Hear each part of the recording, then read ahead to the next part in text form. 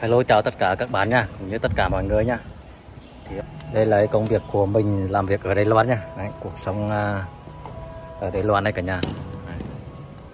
Uống nước nha sau khi à, dừng khung lên Đấy, dừng khung lên thì lập tôn. Đấy. Đấy, tất cả đã, đã làm xong rồi nha Đấy. không hết.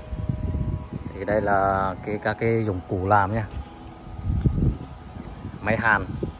Này, máy hàn nha sắt. Thì bây giờ công việc mình làm xong, lập tôn xong, khung xong thì đây là cái ống nước thì mình sẽ làm. Đây là hàn vào nha chỗ này thì kia không thể bắt được, nên là bị hàn vào để giữ cái ống nước ấy. Giữ nước vào đây. Này, bắt vít vào nha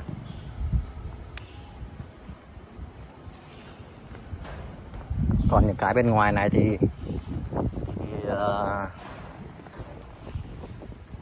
không phải bắt với không phải hàn. Này. đây những cái ngoài này phải hàn nhá này. Tất cả đây phải hàn lại nhá. Đã với ống nước.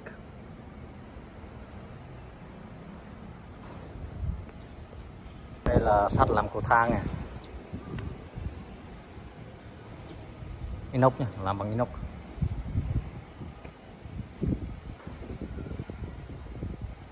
trời hôm nay sắp mưa là sáng sắp mưa. Đây là cái công uh, công việc của mình làm uh, hàng ngày uh, ở đây Loan nha đấy. À, lắp ráp các cái khung nhà xưởng. Đặt chân xong này. Đây là những cái chân nha cả nhà. Dừng sắt lên. Xong là bắn máy tôn. Xong là làm năng lượng mặt trời ở trên nha cả nhà đây là cái sân bung rổ nha rất là rộng. Còn à, sau kia là trường học. Trường tiểu học nha đây là nhà ăn. Đây là cái sân bung rổ của trường học. Khu vui chơi thể thao của các em học sinh nhé.